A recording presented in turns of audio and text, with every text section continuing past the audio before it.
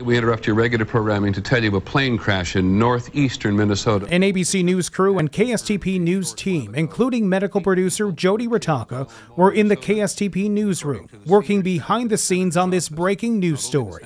Senator Paul Wellstone had died in a plane crash. Twin Cities award winning journalist Jodi Ritacca has been at the front lines reporting and producing on major news stories of the day for the past 45 years. Jodi was inside the KSTP control room on August 24, 1994, producing live coverage during a manhunt for a killer who shot and killed St. Paul police officers Ron Ryan and Tim Jones and his canine, Laser.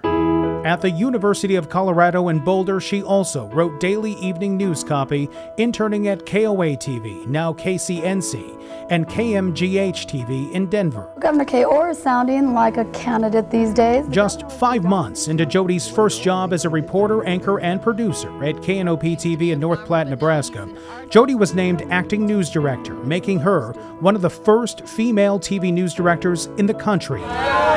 It was also at KNOP TV that Jodi met the love of her life, Greg Carlini, her husband now of 35 years. As president of Nebraska AP Broadcasters, Jodi worked with Nebraska's chief justices to open the Nebraska state courts to audio and video coverage. And for her coverage of the courts, she received the prestigious Law Day Award. Jodi has worked in the Twin Cities media for more than 26 years, including 10 years at KSTP TV. Joining me now is Leanne Brown. In 2005, Jodi produced health stories recorded at the St. Paul Farmers Market for Minnesota Ingredients, broadcasted on Sunday mornings on KARE 11. Jodi also produced hundreds of health stories as senior public relations and media producer at HealthEast for more than a decade. Hello and welcome to Inside Healthcare. And for the past 14 years, Jodi has hosted and produced this award winning Twin Cities cable TV show, Inside Healthcare on SCC TV. Congratulations to all our recipients and our nominees tonight. Jodi has served on the Upper Midwest Emmy Chapter Board of Governors and Foundation since 2011, volunteered as an awards chair for two years, and now as board president and national trustee alternate.